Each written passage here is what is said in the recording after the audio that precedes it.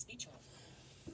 Hey, this is Skylar, and today I'm going to be talking to you about a exercise that I found. Uh, it's not really a conventional exercise, but um, I kind of realized it yesterday. For starters, those of you who are new to my channel, I am completely blind. I am autistic and I have a chronic heart condition. Well, I realized that if you beat your chest like a gorilla, that motion that you're making works your pectoral muscles in your chest. If you don't know what pectoral muscles are, please Google it. But seriously, this motion works your pectoral muscles. So I developed a way to actually make that like an exercise.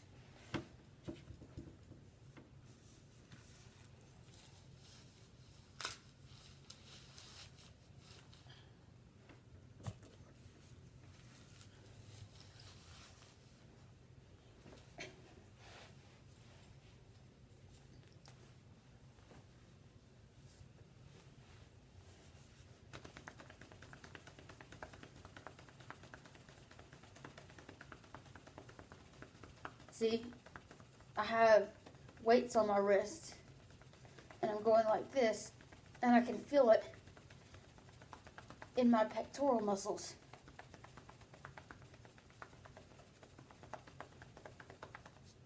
You can also do it with dumbbells, but if you're going to do it with dumbbells, I would recommend don't bring your hands all the way in.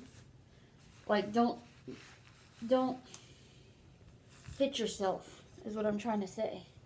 So, what you need to do is go like this. See, my hand's not going all the way in, but it looks like it is.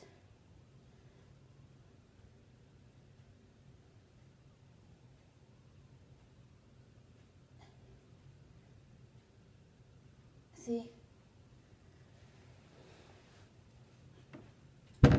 And I call that exercise the Tarzan press for obvious names. But yes, that exercise, um, I just realized it yesterday, kind of, because I like gorillas. and sometimes when I'm listening to like certain songs that I like, I like to get a little, you know, Tarzanian, a little uh, of the jungle, if you get my drift. So, yeah, I just wanted to share that with you and. at least I hope I got you to laugh. But yeah, I'm always trying to come up with fun ways to exercise and stuff. So I'm not really what you would call a fitness mogul. I'm more of a, a funness mogul. You know what I'm saying? I like to have fun and try to incorporate the subjects that I like into everyday life. And if that means that I can incorporate them into exercise and have it actually not kill you, you know, why not, eh? So, anyways, thank you for watching, and I hope that at least I made you smile. And God bless.